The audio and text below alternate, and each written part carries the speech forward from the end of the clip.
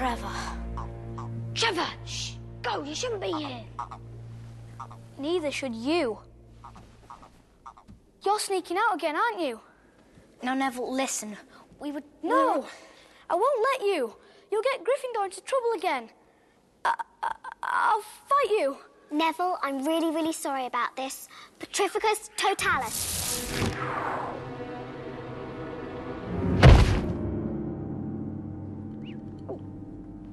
You're a little scary sometimes. You know that. Brilliant, but scary. Let's go. Sorry. Sorry. It's for your own good, you know.